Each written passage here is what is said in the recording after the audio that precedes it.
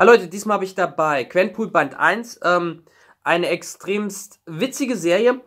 Worum geht es? Ja, äh, wir treffen auf Quen Pule, ne? P-O-O-L-E, ne? Nicht zusammen, es ist ihr richtiger Name. Und irgendein Gegner versteht das äh, falsch und macht daraus Quenpool äh, und haut dann noch daraus, hat's für Stat davor nicht gereicht, ne? Äh, ne? Also, äh, es ist eigentlich wirklich, der Name ist eher nur ein ein Zufall, äh, Zufallsergebnis, okay? Ähm, ja, Quenpool stammt aus der realen Welt oder zumindest augenscheinlich aus der realen Welt und ja, ist, wie sie es empfindet, in der fiktionalen Welt gelandet, gestrandet. Das wird auch untermauert, denn es gibt, sie hat keinen Sozialversicherungsausweis, äh, sie ist nirgendwo registriert, keine Geburtsurkunde, gar nichts. Es gibt nichts von ihr. Das erfahren wir auch schon gleich in in diesem ersten Sondercomic, was hier drin ist, aber auch Doctor Strange äh, bestätigt uns das später nochmal, dass sie auf alle Fälle aus einem anderen Universum stammt. Ja, ähm, worum geht es? Äh, Quenpool, äh, ja, ist sich bewusst nun mal, dass sie ein, äh, in einer fiktiven Welt lebt, in der Superhelden existieren. Also, was macht sie? Ja, sie, sie möchte Held ihres eigenen Comics werden also wird sie Hate. Aber man braucht auch Geld, ne? Vor allem um Waffen zu kaufen. Also ja, hat sie äh, sich ein Vermittl eine Vermittlerin gesucht, die auch gleichzeitig ihr Kostüm schneidet. Ähm, ja, und von der bekommt sie ihre Aufträge. Und ja, so bekommt sie einen neuen Auftrag. Und zwar äh, macht eine hat, plant eine Alienrasse mit Hydra einen Waffendeal auf einem U-Boot, ja, vor der Küste vor, äh, von New York. Und Quenpool ist da äh, natürlich extremst in, interessiert. Und da kommen wir auch schon zu einem richtig geilen Gag, wie ich finde. Äh, sie zieht sich die Maske auf, nimmt ein Edding und malt sich Dollarzeichen äh, auf die Linsen. Also ich habe das so abgefeiert. Ne? Ähm, ja, sie nimmt natürlich diesen Auftrag an. Ja, und äh, steigt in so einen Touristenhubschrauber, der, ich denke mal, zur Miss Liberty fliegen soll, ne? Und über dem U-Boot springt sie dann kurzerhand einfach mal aus dem Hubschrauber und mit einer klassischen 10-Punkte-Landung auf die Schnauze landet sie an Deck des U-Bootes, ja. Und ja, nun aber in dem U-Boot angekommen, stellt sie fest, dass äh, alle Aliens schon tot sind. Ja, und dementsprechend macht sie sich jetzt auf die Suche nach demjenigen, der die ganzen Aliens getötet hat, wird auch schnell fündig, na. Ja, dieser äh, ja steht hier gerade vor dem Antrieb, Verbrennungsofen, keine Ahnung, von diesem U-Boot. Ja, und kurzerhand schubst Quenpool ihn einfach mal so ins Feuer und ja, damit heimst sie sich die Lorbeeren ein, ne? Ja, aber sie hat die Rechnung ohne den Wirt gemacht, denn dieser junge Mann hatte natürlich auch einen Auftraggeber und das ist niemand anderes als Modok hier. Ähm, der neue Modok natürlich, den wir äh, durch die ja äh, Red Hulk Serie kennengelernt haben, der ja mh, mm, so eine Mischung aus Gut und Böses, er ist ja auch nicht mehr der Anführer von AIM, ne? Es ist schwierig, ihn überhaupt irgendwo einzuteilen. Er war auch irgendwie bei den Secret äh, Avengers bei der letzten Serie dabei. War die überhaupt in Deutschland veröffentlicht worden? Irgendwas war da nämlich nicht in Deutschland von veröffentlicht worden. Ich weiß es nicht. Ja, ist auch jetzt egal, jedenfalls ist er natürlich angepisst, weil sie ihren besten Mann getötet hat, also äh, sagt er ganz klar, du wirst, äh, nimmst jetzt seinen Platz ein oder ich töte dich. Und ich finde diese Szene so genial hier. Sie steht da, guckt ihn nur blöde an und dann fällt, bröckelt ihr dieser Stein auf den Kopf. Das fand ich so geil. Ja, und dann lacht sie ihn natürlich aus, ne? Ja, aber widerwillig wird sie dann halt doch mit, äh, nimmt sie den Platz ein und sie erfährt, Modok hat ein, ja, Söldnerteam aufgebaut, welches sich zur Aufgabe gemacht hat, eben Verbrechen äh, zu verhindern, die äh, für die Großen zu klein sind. Also sprich, welche die Rächer nicht merken. Natürlich lassen die sich dafür bezahlen, aber ja, sowas nehmen die sich halt an. Und ja, richtig geil, äh, richtig gut. Ähm, auch wirklich sehr bildgewaltig. Ähm, es ist so ein Cartoon-Manga-Stil, liegt eben auch daran, das Zeichnerteam Gurihiru äh, ist ein Team bestehend aus Anna Shifuyu, Sasaki und Naoko Kawano und ich denke, äh, man hört es schon, es ist japanisch. ist ein wirklich ein Manga-Du, welches in Japan bei einem Manga-Wettbewerb auf sich aufmerksam gemacht hat, dann in die USA gekommen ist, dort erstmal Avatar-Comics äh, gezeichnet hat. Das müsste für die Boom Studios gewesen sein. Ich bin mir jetzt aber nicht ganz sicher. Und ist dann natürlich zu Marvel gewechselt, erst mit dem äh, zum Power Pack ähm, und ja, jetzt eben zu Quenpool. Und ich finde den Stil wirklich genial, weil er was Cartooniges und eben aber auch Manga-mäßiges hat und eben auch viel mit äh, so kleinen Anspielungen im Hintergrund arbeitet, also so wirklich kleinen Gags, ne, ne? Entschuldigung. Ne? Es gibt leider auch mal für den Prolog äh, einen Gastzeichner, den ich aber extremst schlecht finde. Also das finde ich geht gar nicht. Ne? Ähm, ja, auch äh, die Cover zeigen auch die Manga-Interpretation nochmal auf. Ähm, ich weiß jetzt gar nicht, wo es war. Ich glaube, es war da, äh, das Cover vom US 4, wenn ich mich, wenn ich das jetzt, nee, Ausgabe 3. Von Future Fight, da kann man das nämlich auch immer haben. Wo haben wir es denn? Aber ich zeige jetzt nicht das komplette, ich zeige jetzt einfach mal hier das rein. Ist auch, ist nämlich dasselbe Cover. Äh, wie man sieht, ist das eine Anspielung auf meinen Nachbar Totoro, ne? Also, sprich, Modok stellt Totoro da und äh, Quen stellt hier das kleine Mädchen mit dem Schirm da, ne? Äh, ich denke mal, jeder sollte meinen Nachbar Totoro kennen und wenn nicht, Leute, schaut ihn euch an. Ist ein richtig schöner Film. Also, ich finde das Ding wirklich genial. Es gibt so viele kleine Gags, die aber auch einfach lustig sind. Um, wie zum Beispiel, äh, Quen hat natürlich keine Ahnung, äh, wie sie irgendwas macht. Also guckt sie bei YouTube nach, wie sie mit einem Schwert kämpft und ja, überspringt erstmal die äh, Hälfte der Lektion, ja, weil sie zu ungeduldig ist und dann merkt sie, ja, ist doch scheiße, ich mach doch lieber Bomben und googelt dann einfach mal, wie baue ich eine Bombe, ne? Also, äh, es ist eben wirklich, äh, sie ist an sich unfähig, aber irgendwie klappt alles, ne? Und äh, sie erklärt das eben auch damit, dass eben dadurch, dass sie aus der realen Welt ist und nun in der fiktiven Welt ist und sich bewusst ist, dass es eine fiktive Welt ist, immer zu, ja, äh, der Gott aus der Maschine sozusagen ins Spiel kommt, also die Ex Machina für sie einspringt, wenn irgendwas schief läuft und ihr so den Hintern rettet, ne? Ähm, ja, also, wie gesagt, was das Comic angeht, feiere ich es. Aber, ja, äh, bisher ist das ein Mangel, den ich ja sonst immer nur bei Sonderbänden anbringe. Ich beschwere mich ja regelmäßig bei Sonderbänden darüber, dass man den Inhalt äh, falsch aufteilt, dass man einfach mal sagt, aus etwas, was ein Band ist, da machen wir mal zwei.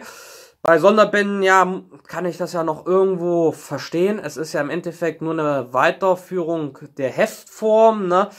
Oh, aber hier haben wir nun mal eben dieses richtig schöne, ich weiß gar nicht, wie sie es nennen, Premium-Format, also jedenfalls ähm, diese Bücher mit Lasche und dem weißen Ding, äh, Cover, die ich ja eigentlich auch richtig geil finde, mit denen ich auch eigentlich immer zufrieden war, auch wenn ma manchmal wenig Inhalt drin war, war ich aber irgendwie immer äh, so, dass ich sagen konnte, ist okay und ich verstehe es. Zum Beispiel der letzte Moon Knight Band äh, hatte ja auch nur vier reguläre Ausgaben und eine Klassikausgabe. Ist im Englischen aber genauso und äh, wäre auch gar nicht von der Story anders gegangen. Dementsprechend meckere ich da nicht. Da ist das okay. Wenn das so nicht anders geht, ist okay. Und hier haben wir jetzt auch vier reguläre US-Ausgaben drin und äh, das Quen-Pool Spezial 2016 Nummer 1. Das ist auch gleichzeitig ein Holiday-Spezial, also eine Weihnachtsausgabe. Ich weiß nicht, ob das vielleicht ein Gratis-Ding war oder so, denn das Ding hat ja schätzungsweise 10 Seiten, vielleicht auch nur 8. Also es ist wirklich hier äh, nur ein paar äh, Seiten. Ja, es dürften 10 Seiten sein, ne? Also extremst klein. Ähm, und kostet dasselbe wie der Moonlight Band, der wenigstens 5 volle Hefte hat, hat das Ding nur 4,5 Hefte, ne? Ähm, ja, auch das wäre vielleicht noch kein Grund äh, zu meckern, wenn man sich nicht auskennen würde und wissen würde, dass in dem englischen Originalband noch etwas mehr drinne war. Und, der, ne, und zwar war dort nämlich drinne noch äh, vorab die erst äh, die ähm, Backup-Story aus Howard the Duck, äh, US-Heft Nummer 1 bis 3, in der Quenpool eingeführt wird und eben auf Howard the Duck trifft. Und die hat uns Panini jetzt komplett vorenthalten. Denn sie ist nicht hier drin und sie ist nicht hier drin. Ne? Hier hat man ja dafür wenigstens Quirgel reingepackt. Ne? Äh, hier hat man mal sieben Ausgaben für 17 Euro, fand ich genial, oder waren es nicht sogar acht? Nee, sieben waren es. Also, aber das ist ein sehr zufriedenstellender Band, sage ich gleich, ne? So, also es fehlt die Backup-Story äh, von äh, Howard the Duck, in der eigentlich uns erzählt wird, wie Quenpool äh, im Marvel-Universum gestrandet ist. Und das finde ich eigentlich wieder mal das allerletzte Panini. Und anders kann ich es nicht, nicht sagen. Also ich fühle mich schon das ganze Jahr eigentlich im Großen und Ganzen von Panini verarscht. Ähm, in erster Linie natürlich nur betreffend die Sonderbände. Äh, das geht schon das ganze Jahr nur so, dass man irgendwelche Sachen, die ein sondern äh, ein Buch normalerweise wären, auf zwei Bücher aufteilt. Es geht das ganze Jahr schon so. Jetzt November, Dezember scheint es sich etwas einzupegeln. Aber ähm, ja, ob das so beibehalten wird oder nur aus einer Not heraus entsteht, das weiß ich natürlich jetzt nicht. Aber ich finde es langsam einfach nur noch eine Frechheit, was Panini gerade abzieht. Und äh, bisher waren es wenigstens ausschließlich Sonderbände und ja auch mal ab und zu ein paar Megabände, wo man dann aber auch noch Verständnis für hatte, dass man Wolverines jetzt auf zwei Bände aufgeteilt hat mit A10 Ausgaben, kann man irgendwo nachvollziehen. Äh, auch wenn man dagegen den Talon Megaband sieht, wo 18 Hefte, nee, ich glaube, es waren auch 20, 18 reguläre Hefte von Talon und noch zwei Sonderhefte aus anderen Serien, ne? Aber ich, ich bin mir jetzt nicht ganz sicher. Aber mindestens 18 Hefte drinne hatte, ne, äh, wäre das mit Wolverines auch gegangen oder man hätte die Requiem-Sachen mit bei den Wolverines mit reinpacken können und äh, dementsprechend äh, zwei schön dicke Ausgaben mit A15 Ausgaben haben können, ne, hätte man auf alle Fälle besser machen können. Also was wirklich jetzt so die Marvel-Megabände angeht, bin ich meistens doch eher enttäuscht vom Inhalt, aber irgendwo hinterher sage ich immer, ja okay, äh, kann ich verstehen. Aber hierfür,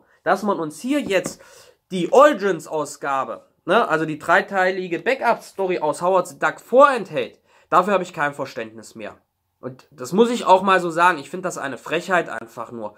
Und ich sehe, komm, äh, Pan Panini hat es selbst äh, gesagt, äh, ich weiß jetzt gar nicht, war es bei Katz in dem Interview-Video?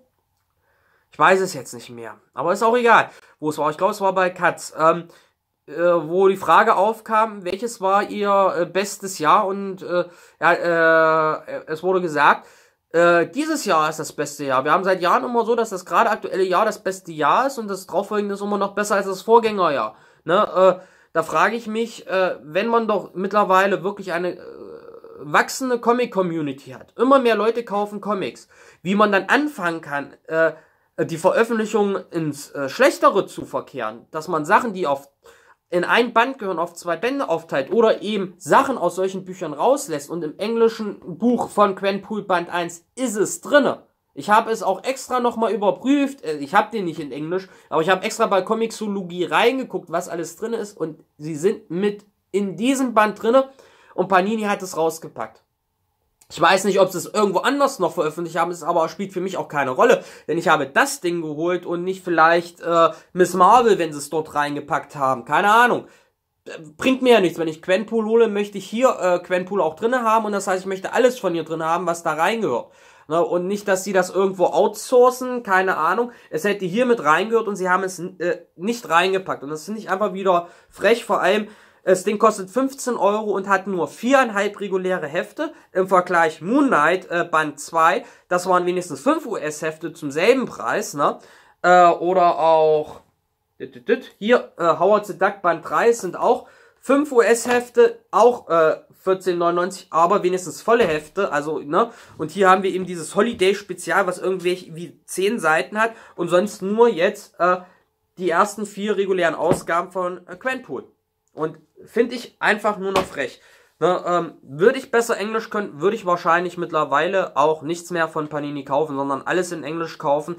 Mein Englisch ist aber leider nicht so der Bringer, aber es ist wirklich, ich weiß, äh, viel, ich habe ja schon oft Rechtfertigungen dafür äh, bekommen, äh, auch äh, ich soll Verständnis haben, die wollen Geld mitverdienen und man würde es genauso machen. Ich würde es nicht so machen, ich würde kundenfreundlich denken, weil alles, was kundenunfreundlich ist, damit verliert man Kunden. Ich war nun mal auch jahrelang Verkäufer und Marktleiter äh, und so ein Vorgehen kann ich nicht verstehen. Ähm, man muss immer an die Kundenfreundlichkeit denken, man muss immer dran denken, man will zufriedene Kunden haben, denn nur zufriedene Kunden kaufen bei einem und Paninis Preise sind schon nicht gerade die niedrigsten, wenn man sie eben mit zum Beispiel Crosskult vergleicht, wo ich ein Hardcover für gerade mal einen Euro mehr bekomme als eben ein reguläres äh, Buch von Panini, na, dann steht das natürlich auch schon in keinem Verhältnis mehr. Es ist aber verständlich, Sie sind ein größerer Verlag, haben mehr Mitarbeiter, verstehe ich, dass ihr Geld verdienen wollt. Aber ihr müsst uns schon auch den vollen Inhalt bieten und nicht so einen Mist machen. Also so wie es dies Jahr bei äh, Panini läuft, ist es scheiße. Letztes Jahr Hätte ich gar nicht, hatte ich nie sowas zu meckern. Das war mal vielleicht mal ein, zwei Ausgaben, wo dann mal vielleicht bei den Sonderbänden wenig Inhalt drin war, aber es war immer irgendwo nachvollziehbar. Ne? Und es ist einfach mittlerweile nicht mehr nachvollziehbar. Jedenfalls aus meiner Sicht. Das könnt ihr alle anders sehen, ne? Aber ich finde es einfach nur noch eine Frechheit, was Panini hier abzieht, ne? Gut, jetzt habe ich mich schon wieder da sehr viel drüber aufgeregt. Trotz allem, es ist ein geiles Comic. Sehr unterhaltsam, richtig schön gezeichnet. Also das Comic bleibt wirklich klasse. Ist natürlich nur ein Comedy-Teil. Ähm, ob dieser, diese, äh, diese Art des Comedy-Faktors auf lange Sicht lustig ist, kann ich jetzt noch nicht sagen. Ähm, ich denke, habe jetzt immer, immer bei sowas immer im Hinterkopf Harley Quinn, wo ja mittlerweile äh, es nur noch äh, die Gags auf Wiederholungsbasis beruhen, sprich Harley sitzt in jeder Ausgabe auf dem Klo oder lässt ihre Kleidung fallen, ne? Aber hier fand ich wirklich viele geile Sachen, sowohl Sprüche als auch eben Zeichnungen. Äh, ich habe ja ein paar äh, Sachen reingehalten oder hier ist auch so eine Sache, Modok möchte herausfinden, was ist Quentpools Geheimnis, wieso weiß, äh, weiß man nichts über sie äh, und erzählt uns dann sein Geheimnis und er erzählt uns, mein Geheimnis ist, dass ich immer den Bleistift äh, äh, in Kuli spreche, damit es so aussieht, als würde ich diktieren, ne? wenn er Selbstgespräche führt. Das fand ich schon richtig lustig. Oder äh, Quen äh, geht eben hier zu ihrer Schneiderin und fragt, ob es nicht auch äh, ob sie nicht noch ein bisschen rot äh, von dem pinken Stoff hat, um ihr eine Hose zu schneidern, weil sie davon genervt ist, sich ständig die Beine zu rasieren. Also äh, sind schon ein paar coole äh, Witze drinne, auch zeichnerisch, also auch in den Zeichnungen verstecken sich halt viele Gags, die halt wirklich über die Zeichnung übertragen werden. Einfach wirklich geil gemacht. Also äh, äh, gut, den Gastzeichner für den Prolog, äh, den fand ich ähm, sehr mies, äh, passt so überhaupt nicht, nicht für so eine Serie meiner Meinung nach. Äh, ja, aber ansonsten wirklich, ich bin begeistert von der Reihe. Nur halt schade, uns fehlt die Origins, weil Panini sie uns einfach mal so kurzerhand vorenthält, warum auch immer. Gut, das war's. Wir sehen uns beim nächsten Mal. Tschüss, Leute.